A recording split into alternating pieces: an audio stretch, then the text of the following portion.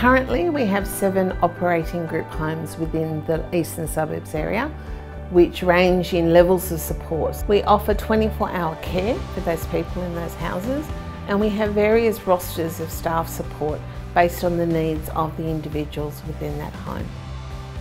When my mum and dad passed away, John left the family home and he had all, all his friends at Windgap. I found that he's um, more independent since he's moved into a, a home. He's more interested in things. He gets the opportunity to go out with people. He enjoys that. For myself and what I've seen of other people that work at Windgap, always caring and always put the person always first. And I think I could always recommend Windgap. We're very passionate about what we do.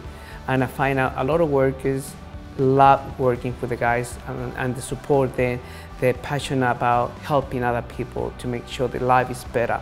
And I love it because it's my passion. Uh, I've been doing this industry for 30 years and, and I, I think I will love it forever.